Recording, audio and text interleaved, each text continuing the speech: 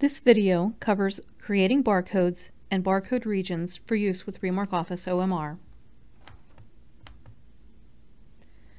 Barcodes are a reliable way to capture information from a form while using a small amount of space. They may be used to capture information such as names, ID numbers, session or class numbers, and other demographic information. Remark recognizes many different types of barcodes. For this video, we will be working with the Code 3 of 9 barcode. The Code 3 of 9 barcode installs with your Remark software or may be downloaded from our website. The Code 3 of 9 barcode font may be selected within your word processing software, the same as any other font.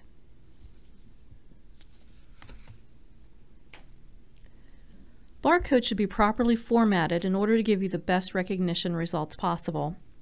Barcode should be at least 26 points in height, or about a quarter of an inch high. They may be placed vertically or horizontally on your forms. Do not put text or lines or any other graphics within 3 eighths of an inch of the barcode. Barcodes must be in the same place on each form.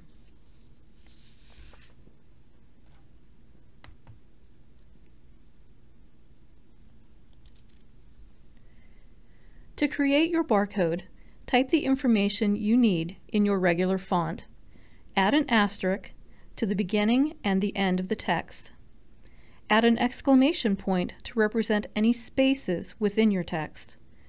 To change the text to Code 3 of 9 format, select the text, then change the font to 3 of 9 barcode font. Make certain the font size is at least 26.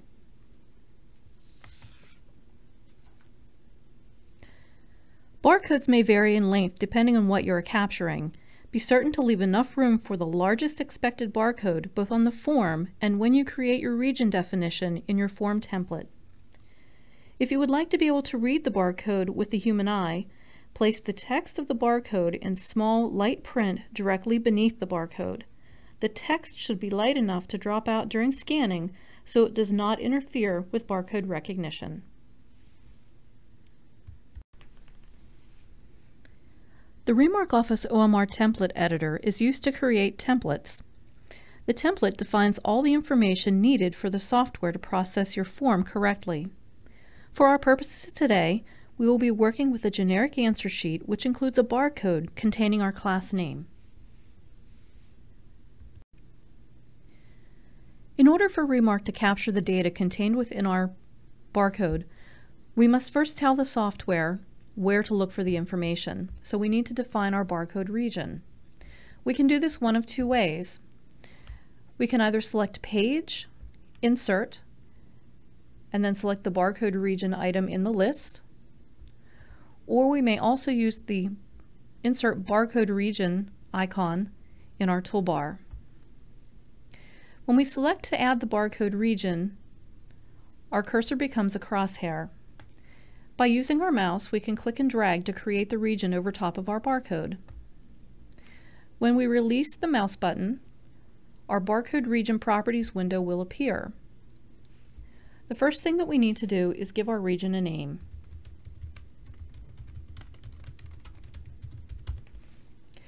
If we weren't certain of the barcode type, we could click on Detect However, we can also click on the down arrow and select our code 39 or code 3 of 9 barcode from the list. Our barcode is on our form horizontally. If our barcode was on the form in a vertical orientation, we could select the down arrow and select vertical from the drop-down list. Our data type is textual. If we needed our data in numeric format, we could simply select the down arrow, and select numeric data type. If our barcode contained multiple items, we would put a check mark in the checkbox. We could use the down arrow to select our item delimiter, and we would tell the software how many items are contained within our barcode. For our purposes today, our barcode contains one item. So we'll remove the check mark from the multiple items checkbox.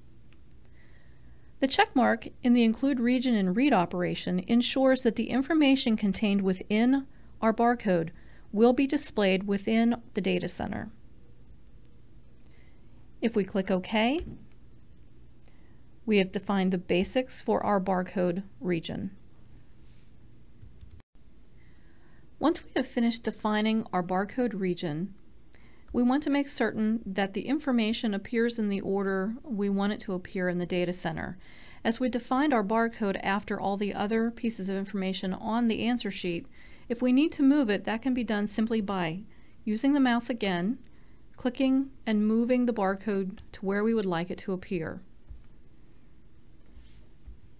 Now when we look at our data in the data center, our student ID will appear in the first column, followed by the class name barcode information in the second column. We would then save our template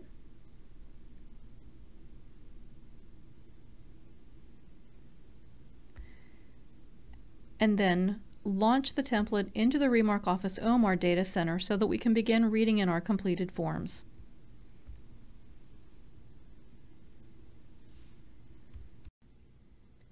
Before we begin reading in our completed answer sheets, let's take a second to confirm the settings for our barcode region. We can see those simply by selecting the column and hovering our mouse over top of the column header. Here we can see that this is a barcode region that is a code 39 barcode, that it's horizontal orientation.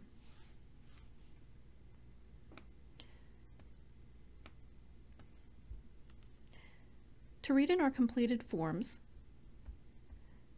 we can select Read.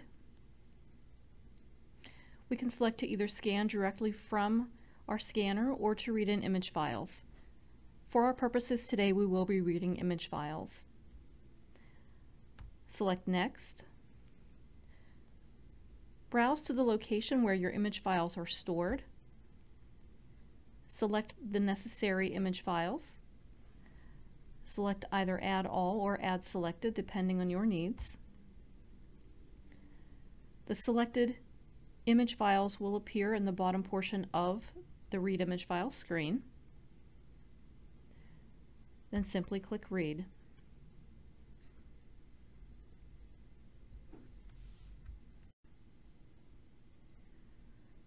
Once all of our completed answer sheets have been read into the Remark Office OMR Data Center, we can take a quick look at one of the cells under the barcode region column and we can clearly see that the barcode has been read and references history, so we know that our class name is history. Thank you for watching this video. For more information about the Remark software, please use the information on this screen. We look forward to hearing from you.